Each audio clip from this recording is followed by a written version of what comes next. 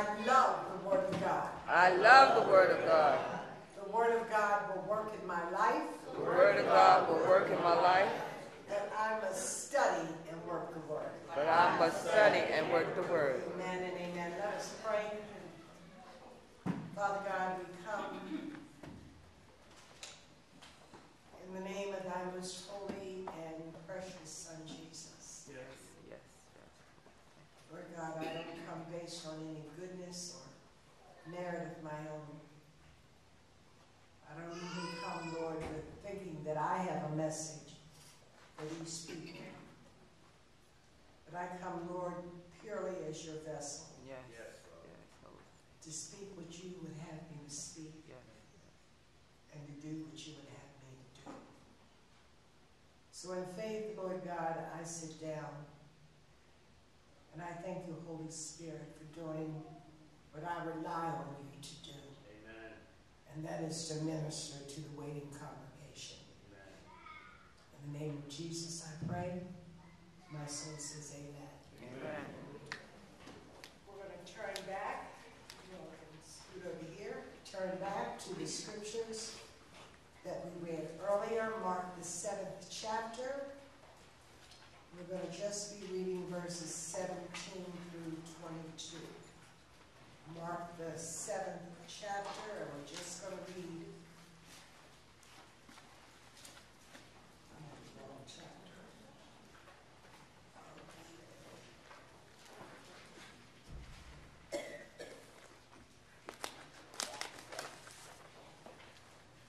Mark 10. Mark the tenth chapter. Yes. Mark the tenth chapter. Thank you. You welcome. Verse 17 to 22. As Jesus started on his way, a man ran up to him and fell on his knees before him. Good teacher, he asked, what must I do to inherit eternal life? Why do you call me good? Jesus answered. No one is good except God alone. Amen. You know the commandments. Do not murder. Do not commit adultery. Do not steal. Do not give false witness. Do not defraud. Honor your father and your mother. And teacher,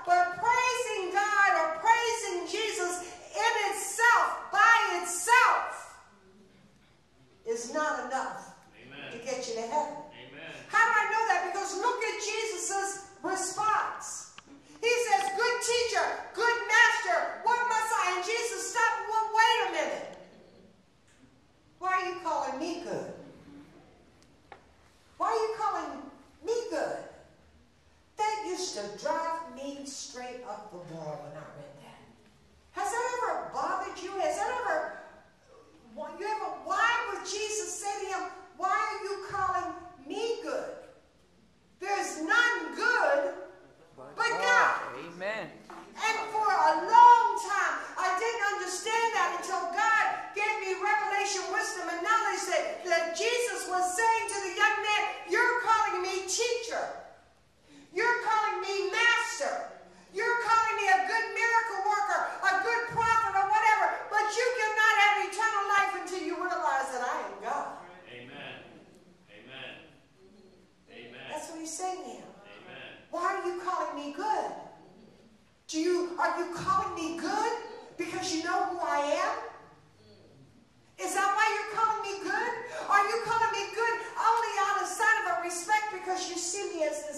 teacher this, this good man. He's letting him know. And he's letting you know, and anybody else that's willing to learn it, that Jesus was not just a good teacher. He was not just a good man.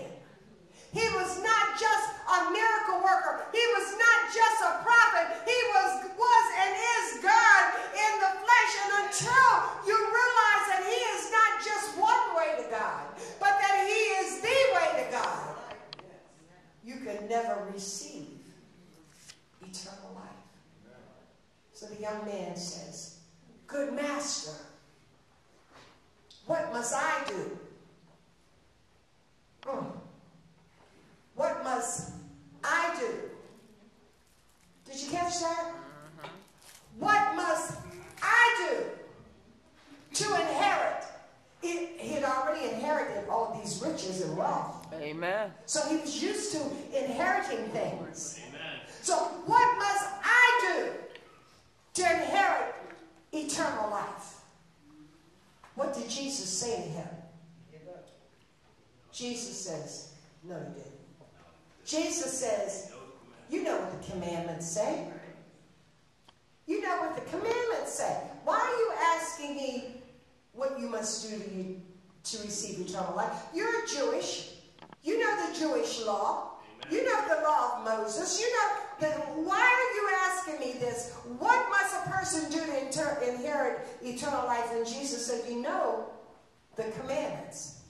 It says, the commandment says, hallelujah, thank you, Jesus. He says to him, thou shalt not commit adultery, thou shalt not kill, thou shalt not steal, thou shalt not bear false witness or defraud someone, and honor your mother and your father.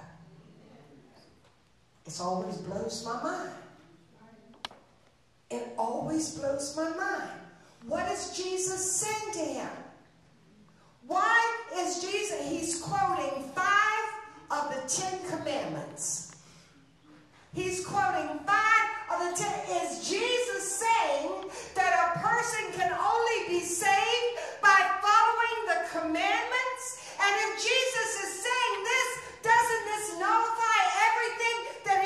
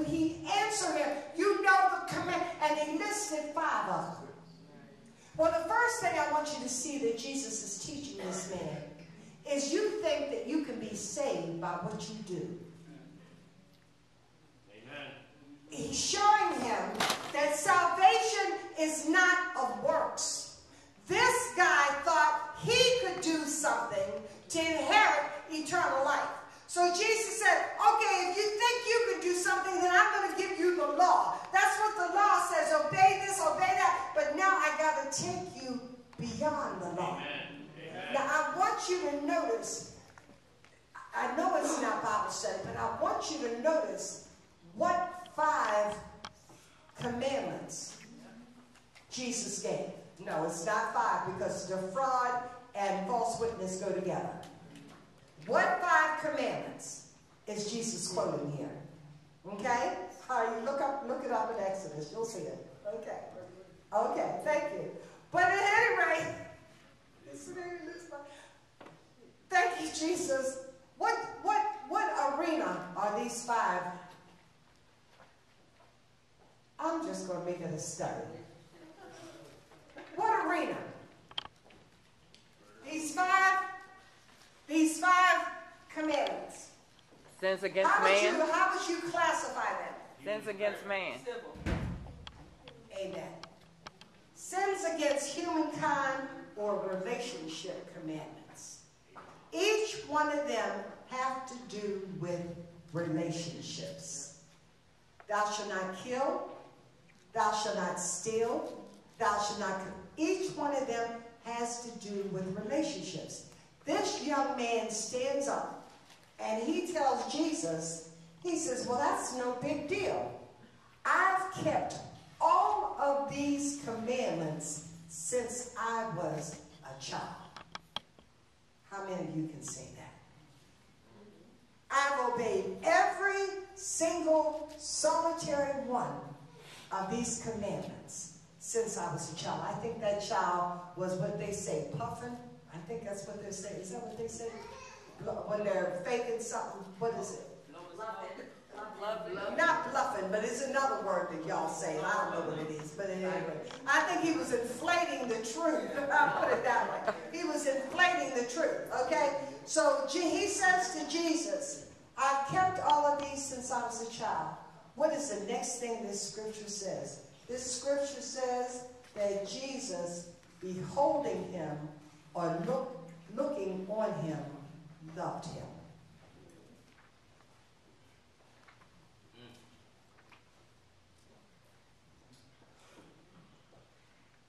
The man says, What must I do to inherit eternal life? Jesus says, You know the commandments. He says, I've obeyed all of them since I was a child. And scripture says that Jesus, looking at him, he loved him. I want you to imagine in your spirit Jesus standing there with his penetrating eyes and looking at this young man. And when he's looking at him, he's not seeing him on the outside, but he's seeing him deep in the inside. Jesus knows exactly what is going on inside of this young man, and Jesus is getting ready to reveal him to him. Scripture says Jesus looking at him loved him. I'm going to say something that's going to sound mind-boggling or whatever, but I want you to know the fact that Jesus loves you is not enough for you to receive eternal life. Amen. Amen. The fact that Jesus loves you is not enough for you to receive eternal life, not in itself alone. Scripture says God so loved the world. But not everybody in the world is going to have eternal life. Amen. Jesus loved him. He looked at him. He saw inside of him. He saw what he needed. He, he saw his hopes and his dreams and so forth. So Jesus says to him, Okay, you say that you've kept these commandments since you were a child. And remember, all five of the commandments had to do with relationships how you treat other people.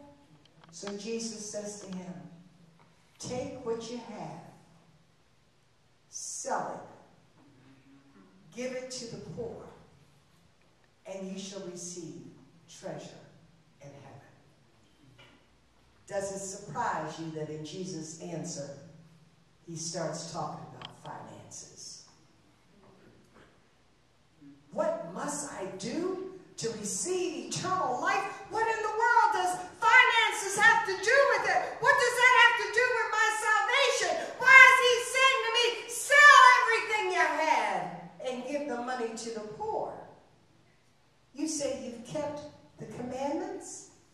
Well, the commandment said, when Jesus said, uh, the disciples asked Jesus, what is the first and the greatest commandment? He said, to love the Lord thy God with your heart, soul, mind, and strength, and love your neighbor as yourself. So if you're obeying all of the commandments, then what you need to do is take the money that you're keeping for yourself and you're just using for yourself and you're hoarding away and sell what you got and give it to the poor. He said, put your money where your mouth is. Amen. You love your neighbor as yourself. You see people suffering, and you do nothing. Amen. All five of the commandments that he listed had to do with relationship. He says if you're going to follow the commandments, then you got to follow the first and the greatest, or the second and the greatest of all. Love your neighbor as yourself. What is Jesus saying? Jesus is saying, if you want eternal life, you got to be willing to give it all away. Amen. Amen. Man had great wealth. Scripture says he went away brokenhearted because he had great wealth. I want you to know, my brothers and sisters in Christ, that I believe if that man had been willing to give it away, God would have told him to keep it. Mm-hmm. God was showing him what was God in his life. Amen. Amen. This is what God, this is what the whole thing is about. That's why the five commandments are, yeah, five commandments about relationships and all this other kind of stuff. God was showing this man what it was that sat on the throne of his heart. And he says, what it is, is not me. Amen. Amen? Mm. Amen. What it is, is not me. I'm not the Lord of your life, your finances, your money, what you got, your home, your house, your car, your children, your, your uh, recreation, everything is more important than me. If I'm God, if you love me most, take what you got, sell it, and give it to the poor. Amen. How do you feel about that? How do you feel about that? Hard. Hard? How do you feel about that? Oh, how I love Jesus. Oh, how I love. God said, put your money where your mouth is.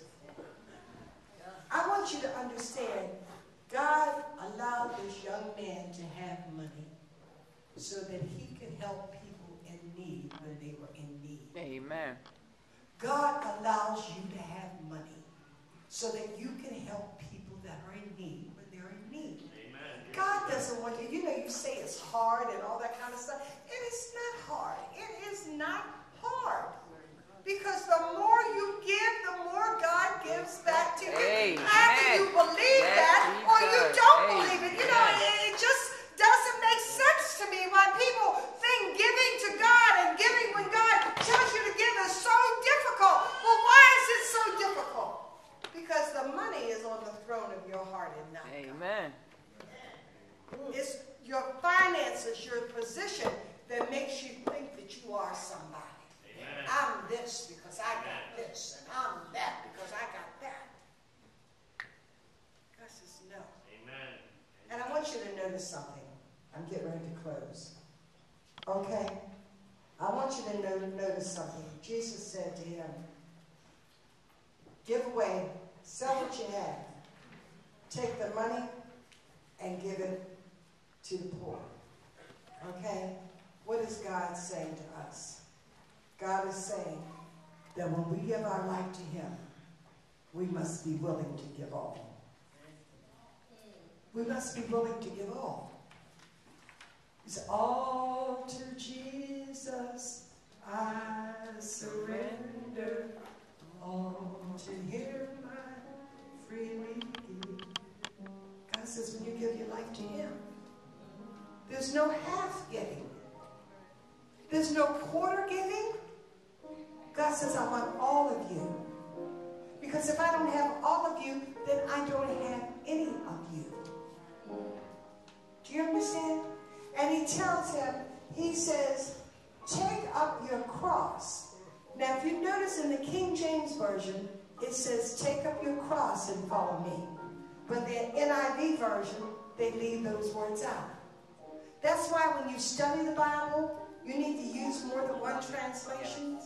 Because he did say, he says, give away what you have and you'll have treasures stored up in heaven. You say, honey, I'm, I'm worried about the treasure down here on earth. You talk about stores and treasures for me in heaven. He said, you'll have treasures stored in heaven. Take up your take up the cross and follow me. If you notice in the King James Version, it doesn't say take up your cross. It says take up the cross. So what you got to understand, you say, well, how, why is he talking about the cross? He has not yet even died. Why is he talking about the cross? Because he's trying to show this young man that following him is going to involve death. Amen. Following him is going to involve a cross. The cross at Calvary and the cross that you will have to carry as you give your all to Christ. Giving your life to Christ involves death. Have you died yet? Have you died yet? Have you died yet? Amen. Amen. If you haven't died yet, there's something wrong. Amen. Because Paul says, I am crucified with Christ. That means I'm dead, I've died. You got to die to self. But the life that I live now, I live by faith in the Son of God who loved me and gave himself up for me. The young man went away. His divine appointment. His divine appointment. It was a test. It was a test. And he failed the test big time.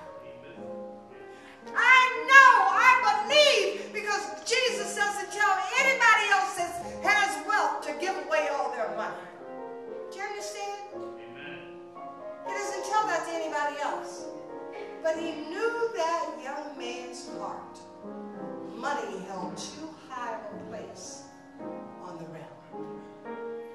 He says, take up your cross and follow me. Amen. If he would have been willing to give it up, God would have told him he could keep it. Amen. Amen. It's like when you give up your life, God gives it back to you.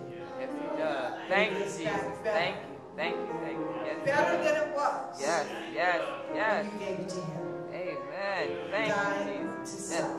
yes. Amen. Amen. Amen. Let us pray. Most holy and all wise Father, I thank you for the people that are here this morning. Yes, Lord. Again, it is a divine appointment. Yes, it is. Thank you. A divine appointment for all of us to see God knows how we are with our finances. And He knows that sometimes our finances are more important to us than He is. And He's trying to show us that we have to be free. Free from being held in bondage by things. This young man loved the things of the world more than he loved God. Yes. This young man went away empty because he loved the things of the world more than he did the hope of salvation. This man went away empty because he loved the things of the world more than he did Jesus. Lord, I ask you to touch the hearts of the people here, the ones that have made profession of faith and the ones who have not yet been saved, and help them to receive the giving, I help them to understand that giving their life to Christ does mean giving it all away. And you're talking about all of yourself. Help us, Lord. Help us. Thank you. In the name of Jesus, my soul says amen. Amen. Would you stand for